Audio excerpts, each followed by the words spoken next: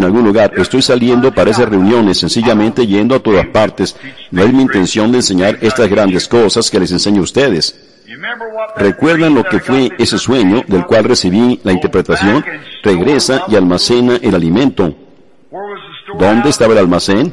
En ese tabernáculo. Donde haya algo semejante en la nación o alrededor de aquí en alguna parte que se compare con el mensaje que nosotros tenemos. Miren, por supuesto, nuestros hermanitos aquí, que están por aquí, estas otras pequeñas iglesias son parte de nosotros, nosotros somos uno. ¿A dónde irían ustedes para encontrar eso? Muestren una comparación a eso en algún lugar. Si ustedes se salen a los credos denominacionales, ustedes se saldrán alejándose del nombre del Señor Jesús. Ustedes se saldrán alejándose de estas otras cosas, ¿ven? Y aquí es en donde el alimento ha sido almacenado. Bueno, un solo mensaje que les predico aquí a todos ustedes. Miren, les he estado predicando de uno a seis horas en un mensaje. Bueno, si yo tuviera que usar uno de esos mensajes, me tomaría una semana para tomarlo. Solo una porción aquí y una porción allí. ¿Ven? Porque ha sido almacenado aquí está en cintas, irá por todo el mundo, en las cintas donde la gente en sus casas, esas cintas caerán ahí mismo en las manos de los predestinados de Dios. Él puede dirigir la palabra, Él dirigirá todo exactamente en su curso. Esa es la razón que Él me envió de regreso para hacer esto, almacena el alimento aquí. Él me prohibió ir a ultramar. El hermano Gambay dijo, bueno, venga, vamos. Usted tiene una sola noche de reunión, pero nosotros lo llevaremos en un viaje turístico por todo alrededor de la nación, que es de la manera que vi al hermano Fred y al hermano Banks tratando de ir. Yo dije, yo no iría de esa manera, ¿ven? Eso demostró que había algo más. He proseguido a la meta ahora, pero no sé por cuál dirección ir. Pero hay municiones tiradas por todo alrededor de mí. Me llamó él de regreso al evangelismo me ha llamado Él a las misiones extranjeras, me ha llamado Él para ser su profeta, debo pastorear en algún lugar, lo que sea que debo hacer, me mantendré echando balas y tirando del gatillo. Una de ellas va a disparar.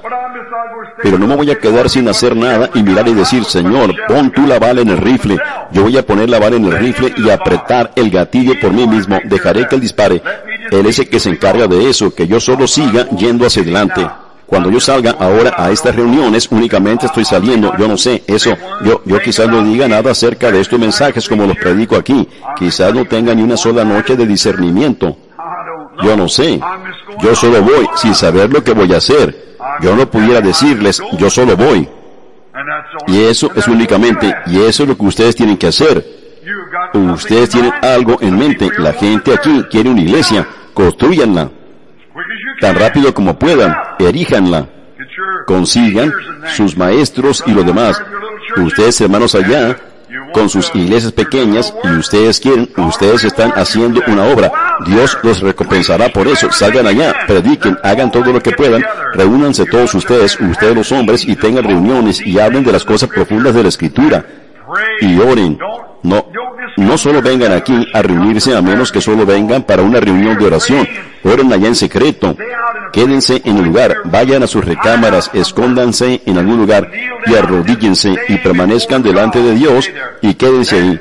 Entonces ustedes se dan cuenta que parece que algo está surgiendo, o ustedes sigan avanzando y ustedes se dan cuenta que eso se sale un poquito de la palabra. Entonces tengan cuidado. No importa cuán bueno parezca, deténganse ahí mismo. Un espíritu errado los ha tocado ustedes porque el mensaje de este día es la palabra. ¿Ven? No. ¿Ven? Si ustedes dicen, oh, qué cosa, hermano Brown, déjeme decirle esto y eso. Bueno, fulano de tal se puso de pie la otra noche y esto y lo otro sucedió de esa manera. Obsérvenlo, obsérvenlo de cerca. No renuncien a nada, solo esperen y vean cómo actúa eso. Y luego tráiganlo a la palabra y vean cómo se compara con la palabra. Entonces, si se compara con la palabra y todo está bien, denle gracias a Dios y sigan adelante, ¿ven? Mientras que eso permanezca en la palabra. Esa es mi opinión. Lo que yo creo que ustedes deberían hacer. Hermano Neville, hermano Rado, hermano Grace, y hermano Biller, y todos ustedes, hermanos aquí, Juni, en donde sea que te encuentres, y el resto de ustedes, hermanos, que Dios los bendiga ricamente. Yo veo a Terry, Lynn, Charlie Cox, David, muchos de ustedes jóvenes aquí, que Dios los unja.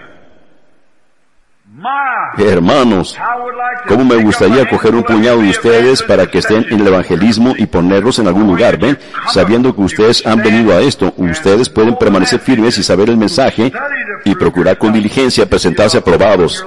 Si ustedes sienten un llamado en sus vidas, yo veo a dos o tres jóvenes, cuatro o cinco sentados en otra fila por acá. A eso me estoy refiriendo. Ustedes están jóvenes, yo me estoy envejeciendo. El hermano Neville se está envejeciendo. Somos hombres de mediana edad. Si el tiempo continúa, vamos a salir de la escena después de un tiempo. Ustedes tienen que ocupar nuestro lugar. ¿Ven? Y así que, ven ustedes, y entonces quizás en aquel día, esto habrá crecido aún más si hay un mañana. Pero mientras haya un día hoy, trabajemos mientras que es de día. Tal vez el mañana nunca llegue. Si llegue, estemos preparados para él. ¿Ven lo que quiero decir? Miren, eso es lo que pensaría para ustedes. ¿No sería maravilloso ver al hermano de allá de Utica, el hermano Craze, a todos ustedes, a los otros hermanos aquí, juntarse, reunirse, llegar a una decisión. Ustedes, ministros, sentarse juntos y discutir cosas. Ustedes tienen que tener compañerismo en algún lugar. Tienen que tener alguna razón por la cual reunirse, por la cual juntarse. Todos ustedes reúnanse como un grupo de hombres y crean unos y otros y así de esa manera y discutan estos problemas y reúnanse quizás una vez al mes. Únicamente los ministros, reúnanse en algún lugar, en una de sus iglesias, siéntense ahí y discútanlo y háblenlo cada uno de ustedes, pastores y evangelistas y lo que sean ustedes. Y entonces si algún gran problema surge y ustedes no lo pueden arreglar, entonces si soy llamado al campo del evangelismo, yo no sé si seré llamado allí. Si es que soy llamado allí, ustedes saben que yo estaré regresando constantemente todo el tiempo. Y entonces, si ustedes tienen esas cosas, entonces cuando yo regrese aquí, bueno, nos reuniremos y nos sentaremos allí.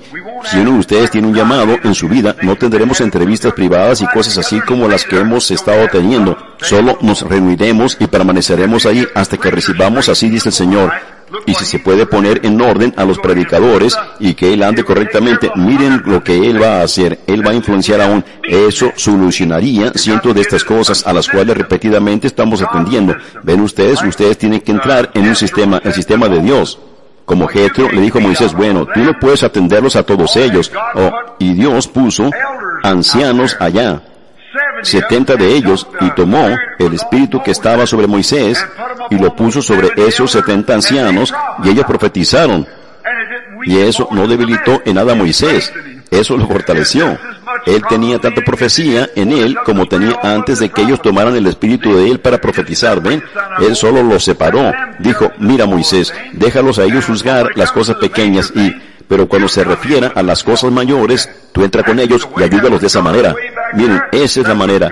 Esa fue la manera de Dios allá en aquel entonces. Esa fue la manera de Dios en la, en la edad primitiva de la iglesia y yo creo que es la manera de Dios ahora. Eso es correcto para que nosotros lo hagamos así. Así que hagámoslo. Solo dejemos de hablar acerca de ello y hagámoslo. Eso es todo. Lo podemos hacer por la gracia de Dios. ¿No lo creen? Ahora vea, ahora veamos. Oh, ya empleé todo mi tiempo. Pero Bill escribió una nota aquí, esperen solo un momento y veré lo que dice. Soy de New Albany, hija Grace, hospital memorial, se quebró su brazo. Quiere oración por ella. T-R-O-U-B W-C Troub, algo así. Oremos por esta jovencita. Nuestro Padre Celestial, mientras estamos hablando ahora, yo estoy pensando que quizás cuando Ireneo miraba a su pequeño grupo de hombres, quizás era un grupo mucho más pequeño que el que está aquí esta noche, y ellos no tenían asientos en donde sentarse, se sentaban en losas frías, y ellos se sentaban ahí, y él les hablaba. Esos hombres salían, aunque sabían que al salir podrían ser alimentados a los leones, cortarles sus cabezas. Pero la fe de nuestros padres todavía vive, a pesar del calabozo, el fuego y la espada.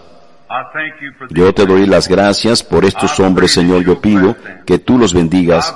Ahora yo bendigo a cada uno de ellos en tu nombre, que tú los guardes en la fe que una vez fue dada a los santos, que ellos nunca se desvíen de ella y que de este grupo tú envíes pastores, maestros, evangelistas, oh Dios, concédelo, y que ellos se queden encargados del fuerte en todas partes, en donde sea que ellos estén, que trabajen continuamente hasta que Jesús venga.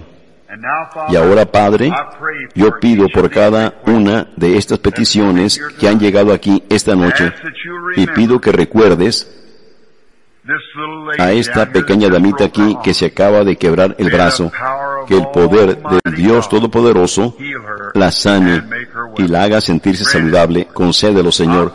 Yo pido que tú la ayudes y la bendigas. Bendice a sus amados por haber llamado y que el poder que resucitó a Jesús del sepulcro resucite a esta niña, que su brazo sane. Todas estas peticiones que fueron mencionadas esta noche, ese pobre muchacho acostado ahí que tiene ese, oí al hermano anunciarlo, que la enfermedad de Hatkin lo ha comido hasta que su cara está quemada con el radio y cosas así que le están dando. Dios, sé misericordioso con ese muchacho, permítele vivir.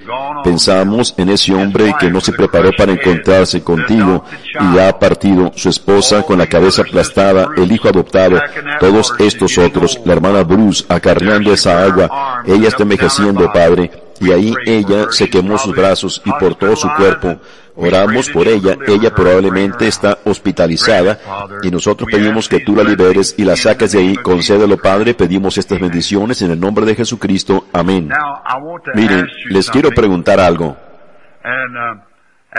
y preguntarles si si ustedes creen que tenemos tiempo para una pequeña porción de la palabra, ¿tienen tiempo? Solo por, miren, es, yo sé que es un poco tarde, pero yo tenía una cosita aquí de la que yo pensé hoy que me gustaría hablar solo por un momento y que quizás les ayude. Y yo pensé que primero les anunciaría esto. Miren, está en esta cinta. Y si alguien alguna vez se quisiera referir a ello, Jim la tendrá. ¿Ven? acerca de lo que yo pienso que se debería hacer. Y miren, lo que se debe hacer para los, para ustedes hermanos. Miren, ¿saben ustedes que cuando aquellos hombres antiguos salían algunas veces, había únicamente como unos seis u ocho de ellos juntos? Y ellos sacudían la región. Bueno, saben ustedes que cuando Aquila y Priscila estaban en aquel gran avivamiento que Apolos estaba llevando a cabo allá, había solamente como seis u ocho hombres y mujeres en ese grupo. Toda esa iglesia consistía de seis u ocho. Y ellos sacudían la región. Bueno, saben ustedes que cuando Aquila y Priscila estaban en aquel gran avivamiento que Apolos estaba llevando a cabo allá, había solamente como seis u ocho hombres y mujeres en ese grupo. Toda esa iglesia consistía de seis u ocho. Ustedes tienen cinco o seis, siete veces más aquí esta noche que lo que ellos tenían en ese entonces. Como ustedes saben, Jesús únicamente tenía doce apóstoles. Nosotros siempre estamos pensando en algo grande, pero Dios no lidia en esos grandes números. Es en esos grupitos pequeños en donde Él lo consigue. Ven ustedes, miren por toda la edad, en cualquier tiempo en el que Él alguna vez se encontró con el hombre. Fue en grupos pequeños, ven, y habló con ellos y los ordenó. Es el beneplácito de Dios el hacer eso. De esa manera a Él le gusta hacerlo. Y miren, nosotros solo queremos mantener a Dios en nuestros medios e ir y hacer estas cosas. Miren, el domingo en la mañana, si es la voluntad del Señor, les quiero hablar a ustedes sobre el evangelismo en el tiempo del atardecer. Y luego yo, si el Señor lo permite, yo probablemente estaré saliendo hasta los últimos de este otoño y antes que regrese otra vez. Y yo probablemente regresaré en algún momento en alrededor de septiembre.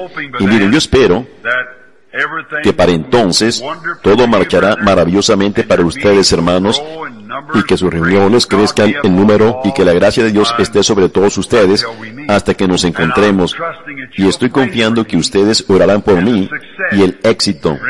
Recuerden, es sus oraciones por mí eso significa que ustedes son mis colegas, ustedes son, ustedes son mis compañeros, mis ayudantes, y nosotros juntos somos ayudantes en el Señor. Y miren, cuando yo esté parado allá frente al enemigo, quiero recordar es soldados fieles y verdaderos que obtienen respuesta a las oraciones por los enfermos y los afligidos, que esos hombres están orando por mí. Yo soy el que la necesita estando allá. Soy Realmente la necesito, así que todos ustedes oren por mí cuando se reúnan. No me olviden, en cualquier reunión, oren por mí. Miren, en San Juan, el capítulo 9, yo quiero leer desde el versículo 26 al 35. Miren, solo por unos cuantos minutos y luego vamos, vamos a terminar en los siguientes 20 o 30 minutos o quizás antes de ese tiempo si es la voluntad del Señor. Miren, yo quiero leer estas escrituras ahora de San Juan 26 a San Juan 10. 9, 26 al 35. Es lo que tengo escrito aquí, solo es algo de lo que estaba pensando le volvieron a decir, ¿qué te hizo? ¿Cómo te abrió los ojos? Y él les respondió, ya os lo he dicho, y no habéis querido oír. ¿Por qué lo queréis oír otra vez? ¿Queréis también vosotros haceros sus discípulos? Y le injuriaron y dijeron, tú eres su discípulo, pero nosotros discípulos de Moisés somos. Nosotros sabemos que Dios ha hablado a Moisés, pero respecto a ese no sabemos de dónde sea. Respondió el hombre y les dijo, pues esto es lo maravilloso, que vosotros no sepáis de dónde sea. Y a mí me abrió los ojos. Y sabemos que Dios no oye a los pecadores, pero si alguno es temeroso de Dios y hace su voluntad, a ese oye. Desde el principio, no se ha oído decir que alguno abriese los ojos a uno que nació ciego. Si éste no viniera de Dios, nada podría hacer. Entonces respondió, respondieron y le dijeron, tú naciste del todo en pecado y nos enseñas a nosotros y le expulsaron. Y oyó Jesús que le habían expulsado y hallándole le dijo, ¿crees tú en el Hijo de Dios? Miren, me gustaría hablarles solo por unos cuantos minutos a ustedes hermanos, sabiendo que mi pequeña plática aquí, yo no sé lo que será de ella, confiando que Dios la usará de alguna manera. Y ahora en esto, sobre su palabra, Así que yo sé que el hermano Singh, el hermano Neville o uno de ustedes ministros generalmente predica. Y solo al estar aquí con ustedes, yo, si ustedes me perdonan, solo me gustaría hablarles un poquito sobre esto. Miren, yo quiero tomar un tema aquí de poniéndonos al lado de Jesús. Los fariseos y los líderes de su día siempre lo trataron de menospreciar delante del pueblo. Esa sencillamente era una manera que el diablo tenía de obrar. Todos los fariseos y los maestros de su día constantemente trataban de menospreciar a Jesús. Ellos, todo lo malo que ellos podían atribuirle a Él, se lo atribuían. Ellos lo observaban a Él constantemente para hallar en dónde podían encontrar una falta y ellos nunca hablaban de sus cosas buenas. Ellos siempre estaban encontrando algo con lo cual ellos lo podían menospreciar y decir, ven ustedes, miren esto. Si él fuera un hombre de Dios, él no hiciera eso de esta manera. O si él fuera un hombre de Dios, él no hiciera eso de esa manera. Ellos estaban tratando de oscurecerlo para conseguir que el pueblo no le creyera. Esa es la obra del diablo. Y esa antigua treta nunca ha cesado. Hay muchas ocasiones en que un ministro va a cometer un error. Y si él llega a un vecindario, un precioso hermano, quien está tratando de hacer lo que está correcto, y de dirigir correctamente a la gente todo lo que el diablo le pueda señalar al incrédulo o al así llamado cristiano en ese vecindario para atribuirle lo malo a ese hombre, él lo señalará. Como ustedes saben, la verdadera manera cristiana es no decir todo lo que uno pueda decir acerca de un hermano. No digan las cosas malas de él. Solo digan las cosas buenas de él. Solo digan lo bueno que ustedes saben tocante a él. Si hay alguna cosa que está mal, déjenle en paz. De todas maneras, el pobre hombre ya tiene lo suficiente en contra de él. No traten de tomar un asadón y empujar a un hombre más profundo en la zanja. La actitud cristiana es levantarlo y sacarlo de la zanja. Ve, nunca traten de empujarlo más profundo. Él ya está allá abajo. Traten de ayudarlo a salir. Y, pero demasiados de nosotros hoy en día, demasiada gente hoy en día, lo diré así, trata de hacer eso. Si ellos pudieran conseguir alguna u otra cosa que pudiera decir que es en verdad muy mala, miren, por ejemplo, si, si uno de ustedes, hermanos, cometiera un error e hiciera alguna cosa que esté errada, lo cual ustedes están sujetos a hacer eso, yo también lo estoy, todos nosotros. Pero mientras que sigamos adelante, recordemos que somos hermanos. Somos hermanos. Y si hay peleas, peleemos unos con otros, traigámoslo aquí, traigámoslo ante nuestros hermanos y arreglémoslo. Miren, de esa manera lo hacíamos en la familia Branham. Si uno de los pequeños hacía algo, ellos iban y se lo decían a Bill, porque yo era el mayor y yo tenía que pararme ahí y ver cuál estaba bien y cuál estaba mal. Bueno, mi decisión era que si ellos cuál estaba bien y cuál estaba mal. Si ellos todavía no lo creían, entonces ellos se iban a mis espaldas y lo resolvían a golpes, pero ellos todavía eran hermanos. Ven ustedes, ellos se peleaban en el patio de atrás unos con otros y peleaban en el patio de enfrente a favor de los unos a los otros. Así que así era, ven, y es, todavía éramos hermanos. Bueno, de, de esa manera nosotros, nosotros tenemos que hacer esto. Ven, si ustedes tienen alguna cosa contra alguien, contra su hermano, no le digan a alguien más acerca de eso si es algo errado, vayan a él y díganselo. Y entonces, si él quiere discutir con ustedes, entonces lleven a alguien más con ustedes, entonces lidien con ello de la manera que dice la Biblia. Pero Jesús, ellos, ellos trataban de encontrar cada sombrita que pudieran encontrar para tratar de menospreciarlo a él ante la vista del pueblo. Y eso es lo que quiere el diablo. Ellos quieren, ellos quieren dañar la influencia de ustedes ante la gente. Esa es la razón que ustedes quieren tener cuidado con lo que hacen. Caminen como verdaderos hombres de Dios, hablen como hombres de Dios. ¿Ven? Actúen como hombres de Dios, vivan como hombres de Dios. Porque vuestro adversario, el diablo, como león rugiente, anda alrededor tratando de devorar lo que pueda. ¿Por qué hicieron ellos esto? Ellos estaban celosos de él. Esa fue la razón por la cual lo trataban de menospreciar. Estaban celosos de su ministerio. Y esa es la razón que lo estaban tratando de menospreciar. Él tenía el ministerio de Dios y ellos sabían eso. Pero eso era contrario a su credo, así que ellos lo estaban tratando de menospreciar. Hacían todo lo que él, cada pequeño defecto que ellos pudieran encontrar para deshacerse de él. Ellos querían que él desistiera, querían que el pueblo lo denunciara a él. Ellos querían decir, miren, este hombre no es nada, miren esto, miren, ahí está él, él, él, él hizo esto. Y ustedes saben que eso no está bien. Hemos sido enseñados toda nuestra vida que debemos creer a los ancianos. Y aquí está él, se paró ahí mismo y reprendió a ese anciano. Él no estuvo de acuerdo con la tradición de los padres y hemos ido y debemos creer la tradición de nuestros padres. Eso nos ha sido enseñado por cada rabí por todos los años. Y aquí viene este hombre y no está de acuerdo con ellos, ¿ven? Bueno, un hombre como ese no es apto para ser un predicador. Ven, ellos lo estaban tratando de menospreciar. Pero con todo eso, los que le creyeron y le amaron y habían visto sus milagrosas señales escriturales, rehusaban ser impedidos por ellos.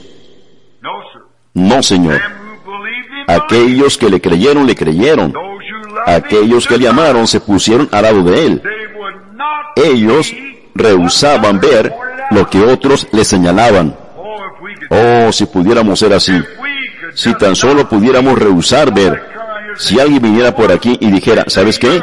Ellos dicen que tú eres pentecostal, no por denominación. Bueno, tú eres un, tú, tú eres uno de esos que bautizan el nombre de Jesús. Sí, eso es correcto. Bueno, déjame decirte algo. Yo conozco un hombre que una vez fue bautizado así y él hizo tal y tal cosa. Pero miren, eso no tiene nada que ver con ello. Es un demonio tratando de oscurecerlos a ustedes.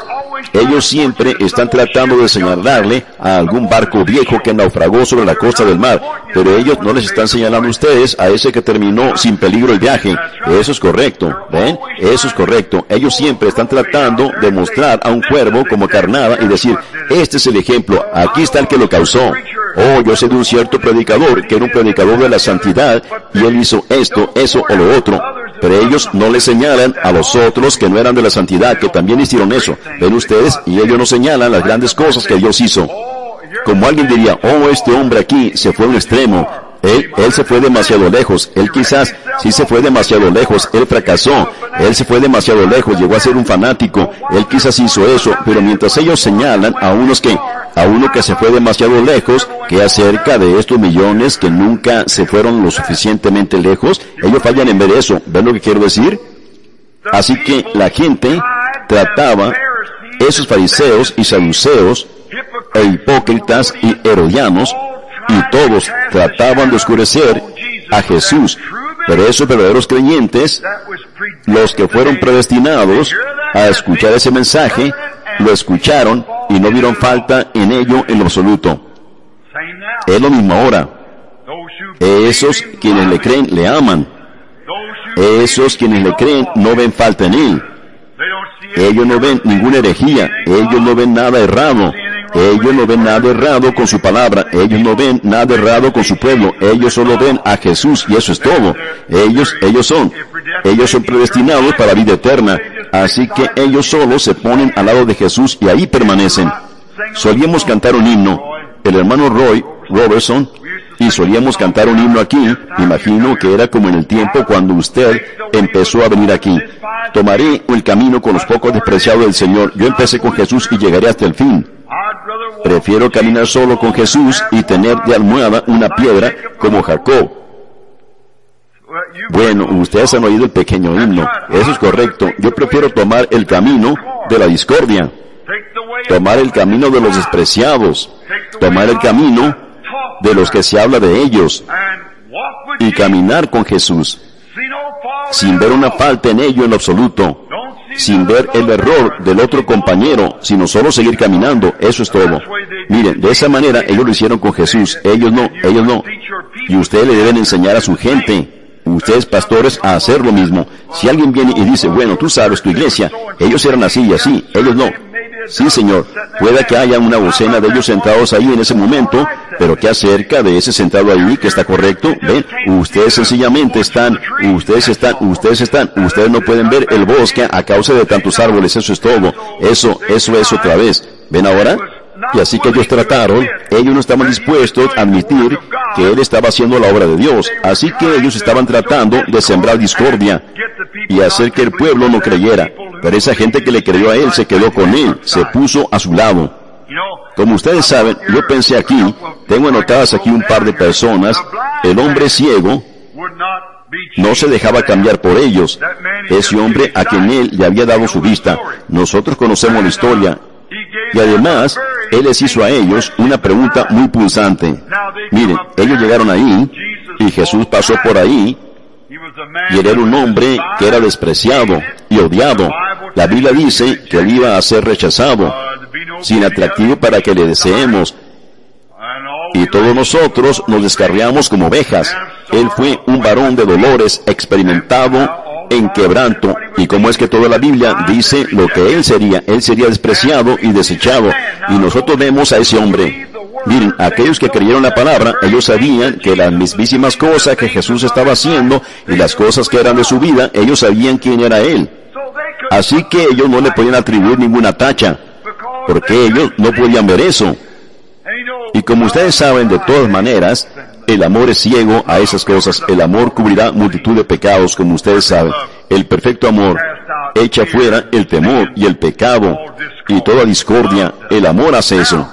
Miren, este hombre ciego estaba sentado ahí y Jesús y sus discípulos pasaron. Y yo pienso que Jesús les dio aquí una pequeña lección. Cuando ellos vieron a este pobre hombre ciego, ellos pensaron, bueno, mira, seguramente que hay un pecado en alguna parte detrás de eso. cuando nosotros vemos que algo le sucede a un hombre, siempre decimos, bueno, él pecó, él se salió de la voluntad del Señor en alguna parte. El hermano Grace chocó con un poste. Él se salió de la voluntad del Señor en alguna parte. Según la idea de algunos, cuando el rifle me explotó, bueno, él estaba fuera de la voluntad del Señor. El hermano Neville chocó el carro, él estaba fuera de la voluntad del Señor. Eso no es exactamente correcto, no Señor, no lo es. Dios permite esas cosas. Jesús se volvió y les enseñó la lección. Ellos dijeron, su padre debe haber pecado, o, o pecó su madre, o pecó él mismo. Jesús dijo, ninguno de ellos pecó, sino para que las obras de Dios se manifiesten. Amén. Ven, Dios permite que las cosas sucedan solo para, para que las obras de Dios se manifiesten. Miren, y así que él dijo, le dijo al hombre, y le dio su vista, y él se fue por su camino. Y ahí vinieron los fariseos cuando la fama de eso se extendió por ahí. Ahí estaba un hombre que era ciego sentado ahí mendigando. Y ahora él podía ver, y ese era el rumor entre ellos. Yo, hermanos, eso provocó algo. Y ahí vinieron ellos, y ellos vieron que el hombre ciego podía ver. Y primero, ellos fueron, quisieron encontrar alguna manera de poner un temor en todo el pueblo, porque ellos ya habían dicho, si alguno va tras esta nueva doctrina y este nuevo profeta, llamado Jesús de Nazaret, inmediatamente les devolveremos sus papeles y compañerismo de la iglesia. Ellos no podrán venir más a la sinagoga. Si ustedes se asocian con él, asisten a una de sus reuniones o alguna cosa así, ustedes ya no pueden venir a la sinagoga. Así que ellos querían hacer una gran demostración de eso porque le odiaban. Ellos no estaban pensando en ese pobre hombre ciego, sino que ellos querían hacer una gran demostración para hacer que el pueblo se mantuviera alejado de él. Ellos dijeron que querían interrogar a su padre y a su madre, así que fueron y trajeron al padre y a la madre. Ellos dijeron, ¿es este su hijo? Él dijo, sí señor. ¿Nació el ciego? Sí señor. ¿Y cómo pues ve ahora? Y el padre y la madre tenían miedo, dice la Biblia, porque ellos sabían que ellos eran expulsados de la sinagoga si ellos admitían que era. Y ven, ahí ellos se estaban volviendo atrás. Ellos dijeron, mira, sabemos que este es nuestro hijo. Oh, probablemente habían unos cuantos miles de personas paradas allí. Pero si él pudiera, si esos fariseos apestosos pudieran tan solo ponerle una tacha en su nombre ahí mismo o hacer algo para asustar al pueblo, ellos no hubieran corrido de ahí, de esa reunión. Ven, toda su influencia se hubiera perdido. Así que ellos dijeron, un grupo de ellos llegó ahí con sus vestiduras sacerdotales puestas y dijeron, hablen por él. Ellos dijeron, nosotros sabemos que este es nuestro hijo, sabemos que él nació ciego. Pero ¿cómo ve ahora? No lo sabemos. Ustedes preguntadle a él, edad tiene. ¿Ven? Muy bien. Así que ellos fueron y lo encontraron. Dijeron, ¿quién te dio tu vista? ¿Cómo te sanó él? Él dijo, uno llamado Jesús de Nazaret me dio mi vista. Y ellos dijeron, da gloria a Dios. Dijeron, bueno, nosotros sabemos que ese hombre es pecador. Dijeron, y dijeron, ¿de dónde es él? Él dijo, no lo sé. Él solo pasó y me sanó. Y eso es todo lo que yo sé al respecto. Yo sé, una cosa sé, si él es pecador, no lo sé. Yo no lo sé, yo apenas conocí al hombre hoy, pero si, si él pudo darme mi, mi vista, una cosa sé, que habiendo yo sido ciego, ahora veo. Estoy seguro de eso, porque yo estaba ciego hace media hora, y ahora yo tengo tan buena vista como cualquiera de ustedes, así que yo sé que yo puedo ver. Oh, qué reprensión les dio. Así que ellos pensaron, bueno, él dijo, bueno, dijo, ¿queréis también vosotros haceros sus discípulos? Ese es un buen, ese es un buen testimonio sólido. Ese, ese, ese es un buen, ese es un buen fundamento. Ese, ese, ese es realmente un buen testimonio, en mi opinión. Dijo, ¿queréis todos vosotros? Ahí está un miembro laico, un hombre ciego, parado en la calle, después de encontrarse con Jesús, ahora preguntando a los discípulos, preguntando a los fariseos, a los obispos, a los jefes, si ellos quieren ser sus discípulos. ¿Queréis también vosotros haceros sus discípulos? Ellos dijeron, no, tú eres su discípulo, nosotros discípulos de Moisés somos, mirando muy al pasado a través de la historia como ustedes saben. nosotros discípulos de Moisés somos. Este hombre nosotros no sabemos nada acerca de él, no sabemos de dónde sea. Bueno, no tenemos ningún registro de que él haya pasado por alguna de nuestras escuelas. Él nunca vino a preguntarnos a nosotros acerca de estas cosas, ¿ven? Nosotros no sabemos nada acerca de esto. Oigan ustedes laicos, comprenden que ese hombre no está ordenado ese hombre es un adivino o algo así. Él es Belzebú. A ustedes los están embrujando. Bueno, él no tiene ninguna autoridad. Todavía no se le hemos otorgado. Ven, nosotros ni siquiera sabemos de dónde sea este hombre. Ese hombre parado ahí que podía ver, él dijo, pues esto es lo maravilloso. ¿Ven? Esos fariseos estaban casi por sujetar al pueblo, atemorizándolo, ¿ven? Pero él ya se había puesto al lado de Jesús, ¿ven? Así que él dijo, esto es lo maravilloso. Permítame decirlo, en otras palabras, alguna de las palabras que él pudiera haber dicho. Miren ustedes, hombres de por aquí, han estado operando toda la parte religiosa de esto por cientos de años. Y ustedes hablan de un Mesías que viene y que algo va a acontecer justo en las sombras del tiempo, cuando el libertador venga a vernos. Y ustedes nos dicen de todo lo que Él va a hacer cuando Él venga. Y aquí, ustedes, los líderes espirituales, los sumos sacerdotes y sacerdotes de esta comunidad, están parados aquí juntos delante de esta gente, tratando de desacreditar su nombre, tratando de decir algo malvado contra él. Y el hombre vino y abrió mis ojos ciegos. Yo nací ciego. Aquí están mi padre y mi madre dando testimonio de que nací ciego. He estado sentado aquí mismo entre ustedes por todos estos años. Nací ciego. Y eso nunca ha sucedido desde el principio. Y aquí un hombre puede venir y ejecutar un milagro que no ha sido hecho desde el principio. Y ustedes son los líderes espirituales y no sabéis nada al respecto. Mm. Dijo, yo digo que esto es lo maravilloso. Él se puso al lado de Jesús. ¿Ven? A él le fue permitido estar ciego para que las obras de Dios pudieran ser manifestadas. ¿Ven? Porque él se puso al lado del Señor Jesús. Él se puso a su lado. Miren, él les dio una reprensión a ellos. ¿Saben ustedes lo que ellos hicieron? Ellos dijeron, ahora nosotros sabemos que naciste en pecado y nos trata de enseñar a nosotros y lo expulsaron de la iglesia, lo echaron a golpes fuera, lo echaron a empujones, lo echaron fuera. Pero tan pronto como fue echado fuera, se fijaron ustedes, Jesús lo halló otra vez. Amén. Amén. Jesús lo halló otra vez. Así que no se preocupen ustedes si ellos los echan fuera. Él los hallará a ustedes otra vez. Ven, muy bien. Y él le dijo, ¿crees tú en el Hijo de Dios? Él dijo, Señor, ¿quién es Él? Él ni siquiera sabía eso, pero la única cosa que él sabía era que habiendo sido ciego, ahora él podía ver. Miren, una cosa así, hermanos, ellos pudieran llamar esto fanatismo y todo lo que quieran, pero habiendo yo sido un pecador, yo, yo he entrado en la gracia ahora. Algo me ha sucedido. ¿Ven? Una cosa yo, yo sé ahora por confiar en su palabra, por creerle a Él, yo he sido echado fuera de toda organización bajo la faz del cielo. Ya no hay ninguna de ellas que me reciba. Ustedes saben eso. Algunos de los hombres de ellas me recibirán. Hombres buenos me aceptarán, pero toda organización me rechaza. Eso es correcto, pero Él me ha hallado. Él me hallará en algún lugar o en otro. Eso es correcto. Viene de esa manera. Y así que todo está bien porque nosotros nos queremos poner al lado de Jesús y la única manera que ustedes se pueden poner al lado de Jesús es el ponerse al lado de lo que Él dijo, creyendo su palabra. Así que pongámonos al lado de Él. El hombre ciego les dio un testimonio verdadero. Muy bien. Encontramos otra vez que ellos trataron de poner tacha en su nombre. Seguiremos solo un poquitito más y yo tengo que omitir algunas cosas aquí, así que una vez un fariseo, yo prediqué sobre eso aquí hace tiempo y lo llamé lavando los pies de Jesús. Yo creo que todos ustedes me vieron predicar sobre eso aquí. Cuando un fariseo le pidió a Jesús que viniera a su casa, un gran fariseo almidonado, le pidió a él que viniera.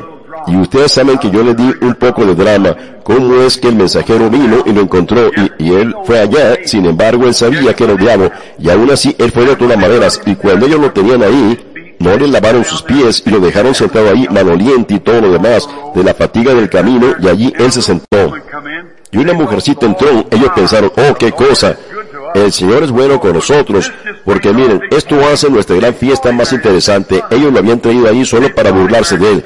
Ellos lo trajeron a él ahí solo para divertirse con él. Y ahora ellos pensaban que el Señor estaba obrando de acuerdo a los planes de ellos, porque esa mujer prostituta de mala fama vino y estaba llorando y regando sus pies con sus lágrimas y enjugándolos con su cabello.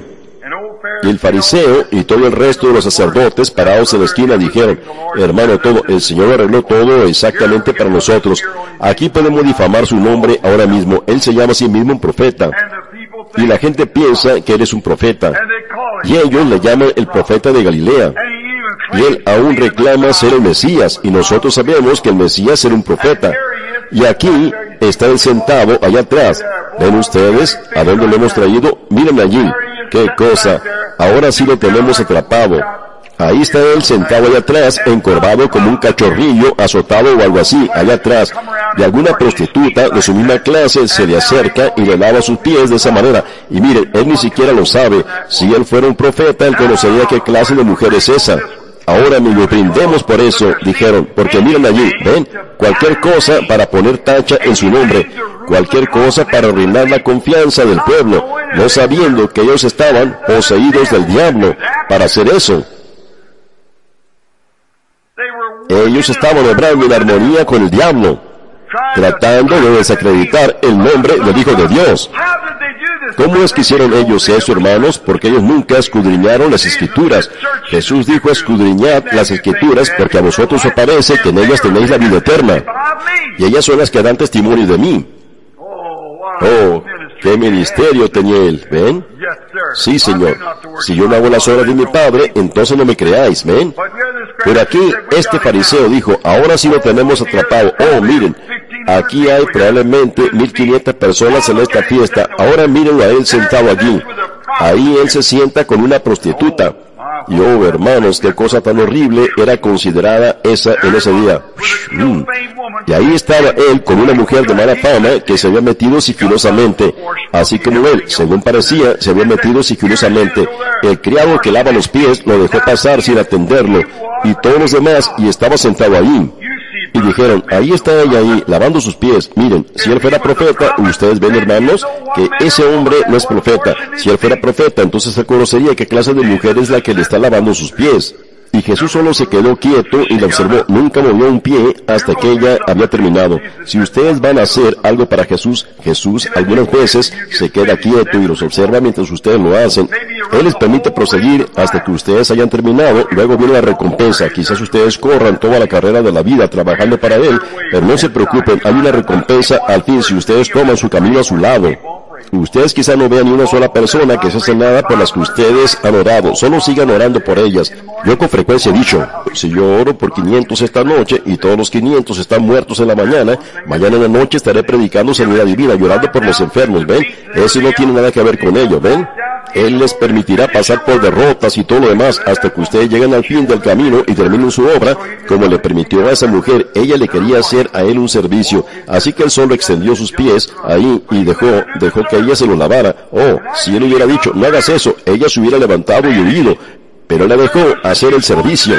Y después de que ella lo hizo, terminó el servicio que ella iba a hacer. Entonces él alzó a la vista y miró a ese hipócrita parado ahí atrás que estaba tratando de oscurecer su nombre. Dijo, Simón, una cosa tengo que decirte. No a ella, sino a ti. Tú que estás parado allá atrás, en tu corazón, esa es la razón por la cual me trajiste aquí. Tú no tienes compañerismo conmigo. ¿No lo sabía yo? Pero tú me trajiste aquí y me sentaste aquí atrás para burlarte de mí. Dejaste, tú no me diste agua para lavar mis pies. Tú no me diste nada para mitigarme. Yo estaba sentado aquí, quemado y adolorido, y tú no me diste aceite para mi cara. Te avergonzaste de darme el beso de bienvenida o de estrechar mi mano. ¿Ve? Tú estabas avergonzado ante tus invitados. Estabas avergonzado de hacerlo. Esta mujer, desde que entró, no ha hecho nada más que frotar mis pies y regarlos con las mismísimas lágrimas de sus ojos, enjugándolos con la toalla de su propio cabello. Entonces yo te demostraré si soy profeta o no. Amén. Me gusta eso. Ahora, yo quiero hablar contigo por un momento. Tus muchos pecados te son todos perdonados. Mm. Pusieron tacha ellos en su nombre. Ellos pensaban que habían puesto tacha.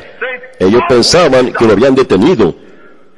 Ellos pensaban que lo habían ridiculizado para que su llamamiento nunca se pudiera llevar a cabo en esa comunidad. Ellos pensaban que habían arruinado su influencia, pero solo se necesitó una sola persona que lo amara para cambiar la situación por completo. ¿Cómo saben ustedes que no son ustedes esa persona para su comunidad? ¿O para alguien que ustedes encontrarán? Pónganse al lado de él. Háganle a él un servicio hagan algo por él. ¿Saben ustedes lo que quiero decir, hermanos? Pónganse ustedes al lado de Jesús. Tómenlo a Él, háganlo a Él su elección.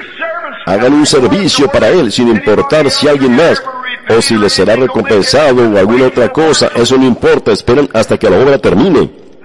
¿Cómo les gustaría a ustedes que les dijera, aunque ustedes hayan orado por los enfermos y ellos no hayan sanado, aunque ustedes hayan orado para poder hablar en lenguas y no lo hayan logrado, ustedes oraron para poder profetizar y no lo lograron, pero sin embargo la única cosa que ustedes pueden hacer es contar la historia de Jesús en su iglesia o en su comunidad, en su trabajo. Ustedes no pudieron hacer ni una sola cosa, guiaron a una sola persona. Esa mujer no dio a nadie a Cristo, pero ella le hizo un servicio para él.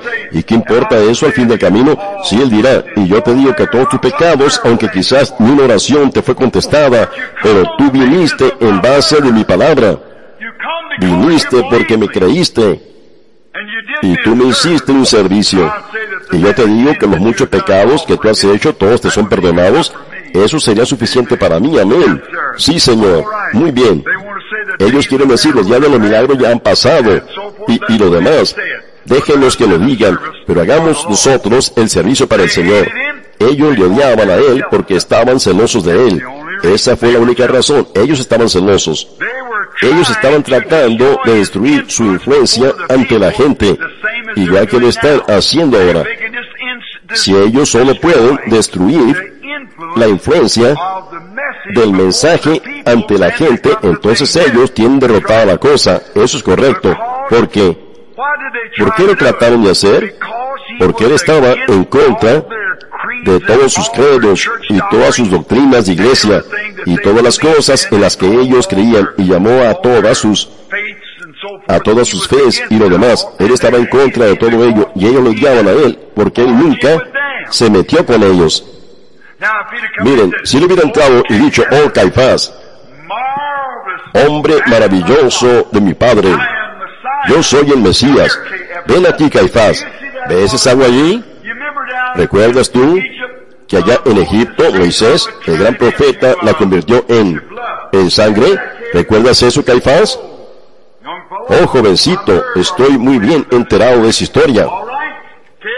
Muy bien, Caifás, voy a convertir el agua ahora de agua a sangre para mostrarte que yo soy ese profeta de que Moisés habló. Ahí está, Caifás. ¿Qué piensas de eso? ¿Qué piensas tú acerca de que Caifás sea un fariseo? ¿Qué piensas tú acerca de los fariseos? Oh, yo pienso que son una raza de gente maravillosa. Oh, todos ustedes guardan la tradición de los padres exactamente bien. ¿Sabes qué? Tú quizás seas el Mesías. No, él no hubiera sido el Mesías. Esa hubiera sido la mismísima señal de que él no era el Mesías. Cuando ustedes vean a alguien venir y decir, ven aquí y te mostraré lo que yo haré, y ven acá, y yo haré esto y haré eso, ustedes recuerden ahora mismo que hay algo sospechoso acerca de ello para empezar. Jesús dijo, yo no hago nada hasta que el Padre me lo muestre primero. Él, sí, él estaba en contra de ellos, él enseñaba en contra de ellos, él condenaba la celebración de ellos del día de reposo, él condenaba la manera que ellos se vestían, él condenaba la manera de sus vidas, todas sus tradiciones, todos sus lavamientos de ollas y lavamientos de calderos y lavamientos de manos y todo lo demás. Él condenó todo eso de sus vestiduras. Él dijo, ustedes usan vestiduras bordadas y desean las primeras sillas y, hacen largas oraciones y devoran las casas de las viudas. Dijo, ustedes reciben mayor condenación. Bueno, recuerde que soy el doctor fulano. No me importa quién sea usted. Oh, qué cosa. Él realmente los amonestó. Ellos no. ¿Por qué? Porque ellos no creyeron en él. Él era la palabra, ¿ven? Él estaba tratando de deshacer ese grupo de legalistas. Y si él estuviera aquí en la tierra hoy en día, él trataría de hacer alguna cosa. Alguna gente dice, bueno,